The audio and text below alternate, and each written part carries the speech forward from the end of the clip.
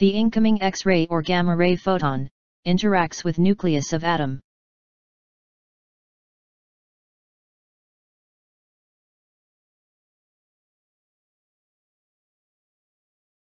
The photon is completely absorbed by the atomic nucleus. And the nucleus becomes excited.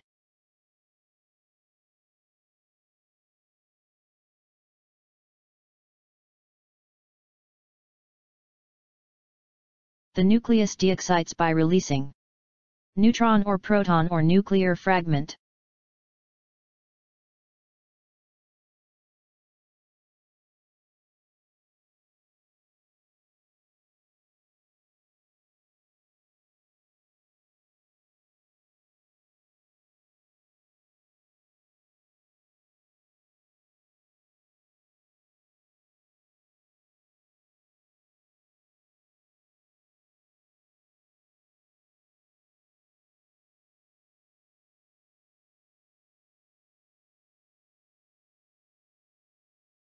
You can see in the example, X-ray or gamma-ray photon interacts with a copper nuclei on the left side of equation. And on the right-hand side of equation, a neutron is ejected leaving behind an isotope of copper. The above reaction has a definite threshold, 10.86 MeV that means photons with energy below 10.86 MeV, cannot do above reaction. Types of photodisintegrations are, gamma P, gamma N, gamma D, gamma T, and gamma alpha, where D stands for deuteron and T stands for tritium, 1H3. Threshold energy, for photodisintegration. The threshold for this effect is, over 10 MeV for most nuclei. Why the threshold energy is, so large? Binding energy, of individual nucleons, inside a nucleus is of the order of 10 MeV.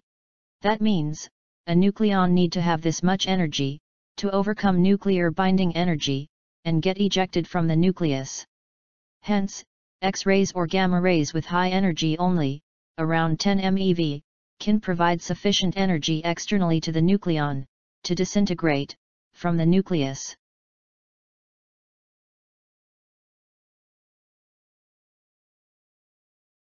These are few nuclides undergoing gamma, neutron, or X-ray, neutron reaction.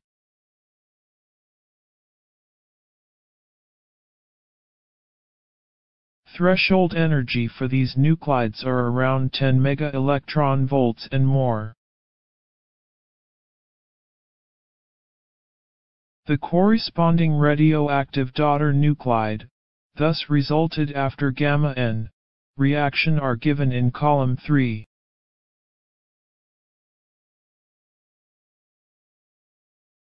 What happens to the nucleus after photodisintegration? Suppose, a neutron is released from an atom due to photodisintegration. The nucleus is now having lesser number of neutrons than required. So, the unstable nucleus becomes radioactive.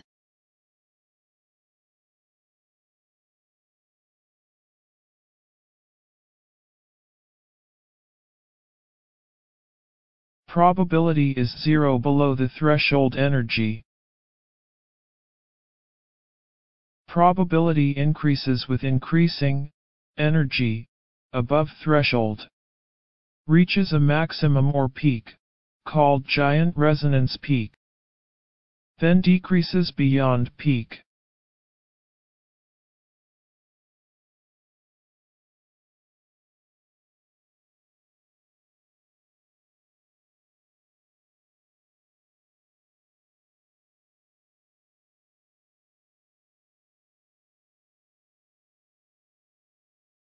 This table gives energy values for resonance peak for different nuclides, undergoing photodisintegration.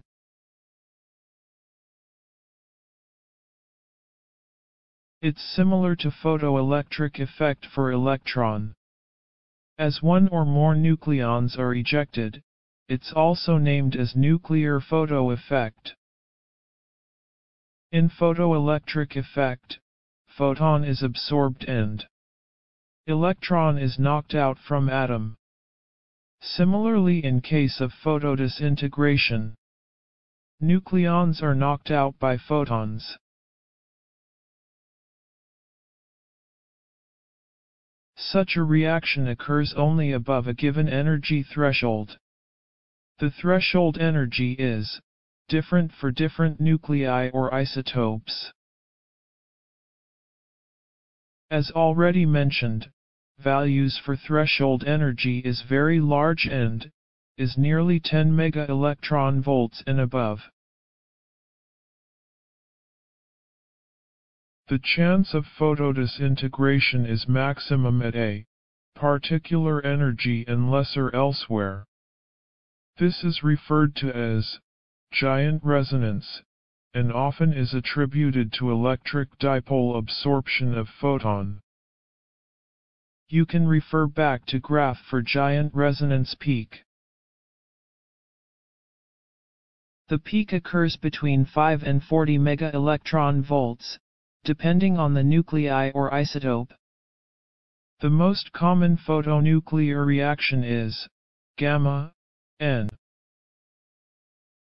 The release of a nucleon from the nucleus may result in a radioactive daughter product. The reaction cross-section or probability is proportional to Z.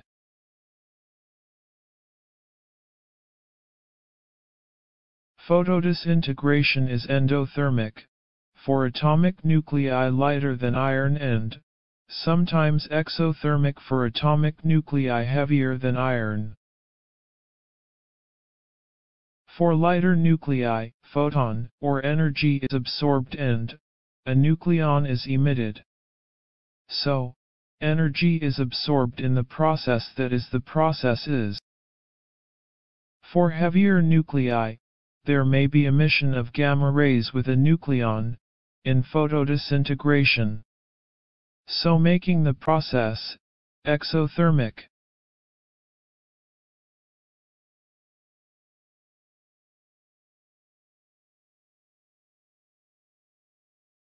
Even at high energies, photodisintegration is an uncommon event. It can contribute between 2% for high Z element and 6% for low Z element of the total cross-section. Do not occur in diagnostic radiology X-ray energy range. Maximum used diagnostic X-ray energy is around 140 kilo electron volts.